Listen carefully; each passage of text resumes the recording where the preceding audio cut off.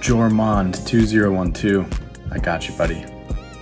This is my daily driver Sony a7 III with the Tamron 28 to 75 f2.8 lens. It's an absolute tank. I don't have to say anything else. This is the most important piece of gear I own. Circular polarizer lets you control the reflections on the subjects. Another filter I've been using lately, Tiffen Glimmer Glass for those dreamy vibes. Now onto the fun stuff.